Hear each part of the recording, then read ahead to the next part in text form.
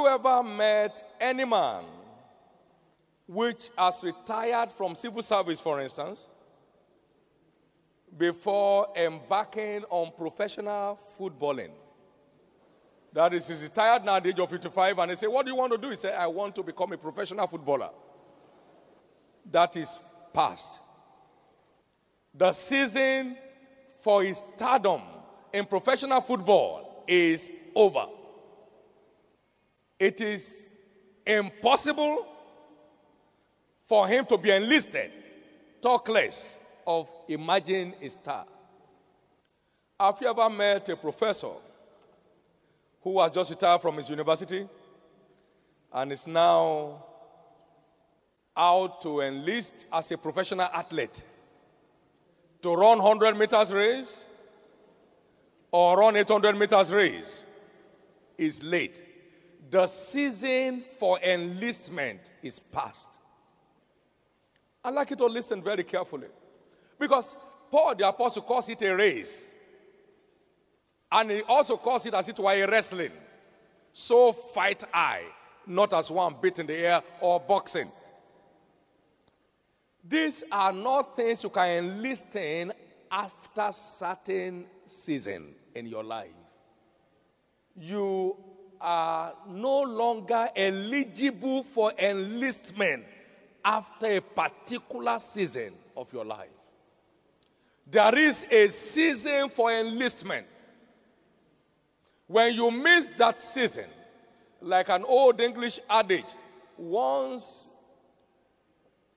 an opportunity once lost can never be what? Regained.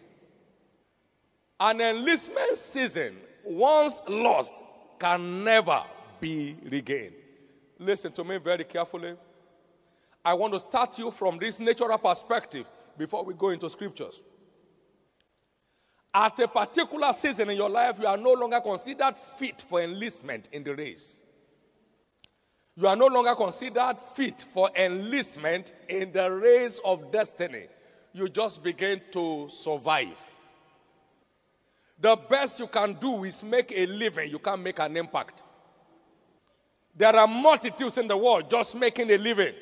There are few making an impact. They are the ones they call stars. This is very important.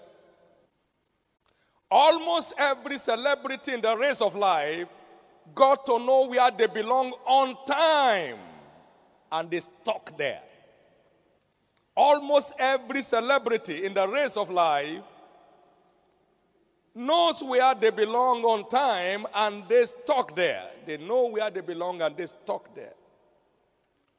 In the field of sports, no one ever gets late, gets up late, and become a star. You never find a sports star that got started even at 30. So you can see time is running out, young people. Timely discovery for striking accomplishment. We are in a strange age. We are in the generation of the youths. One of our lecturers in Covenant University just returning from the US and went for a conference, I was told gave his report this last Friday, and the assistant coordinator for United States of America for that program was a 21 year old. For what? 21 what? 21 years old. The second one on that same team was 23 years old. 23 years old. If you ever make yourself feel that you are a child, you are kidding, and you may end up in the kitchen.